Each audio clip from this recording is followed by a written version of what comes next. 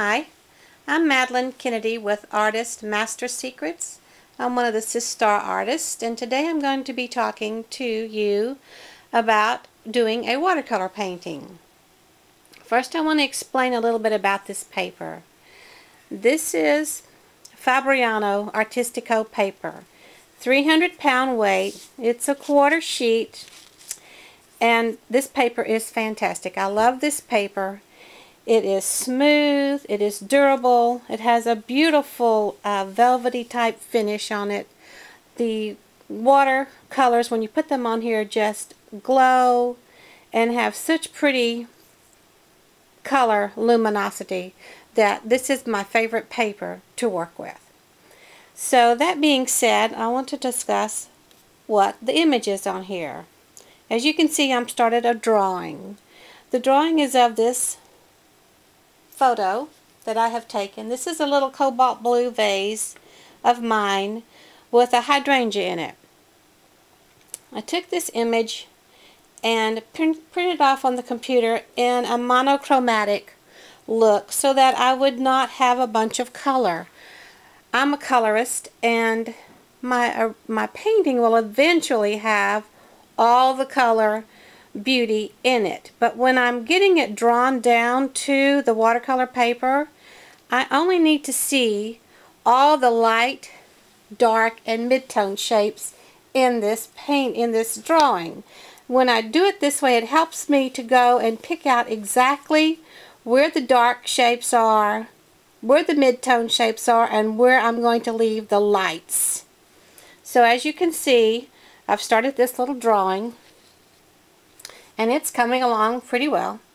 I've got some of the midtones, some of the lights, some of the darks. I've got a little piece of the leaf in here so far with its little curlicue on the end. Still going to work on the hydrangea back here. I need to shape it up quite a bit more. And then I have a decision to make.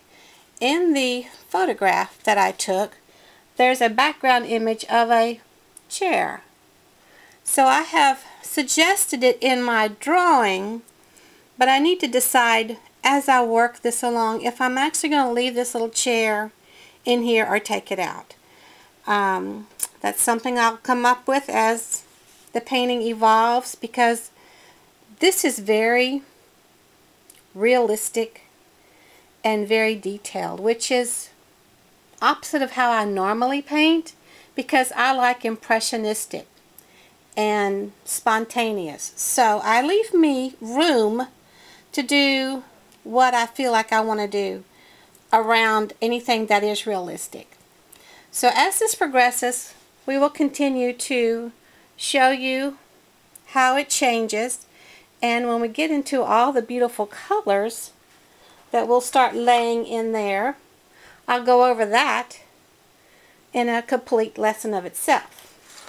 So for now, this is what we need to do. I want to impress upon you at this stage in your drawing, it's very important to get enough of the lights and enough of the darks in here so that you have, I guess you'd say a blueprint, if you may, of where to follow when you start to come here with your warm and your cool, underpainting and overpainting of colors.